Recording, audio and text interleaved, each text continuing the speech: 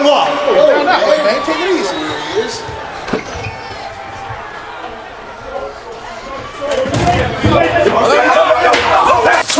And now he's, he's taken apart the tag team champions. Benoit's bleeding. Benoit's busted open. And